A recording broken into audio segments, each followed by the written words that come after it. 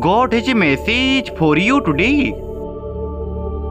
He is of a proud heart, stirs of strife, but he who trusts in the Lord will be propitious. Say to those who are faithful hearted, Be strong, do not fear. Behold, your God will come with vengeance, with the components of God, he will come and save you.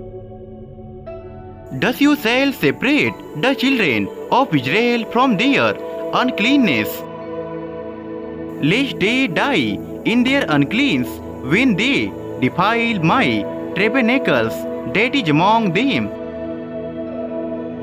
May all who seek you rejoice and be glad in you. May those who love your salvation see every more.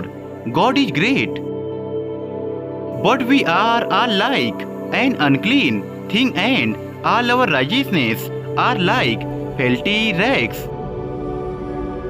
We all fade as a leaf, and our iniquities, like the wind, have taken us away.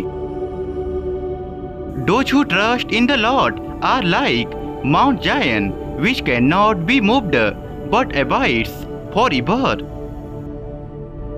Now also, when I am old and grey, hail dead, O God, do not forsake me until I declare your strength to this generation, your power to everyone who is to come. Type Amen if you believe.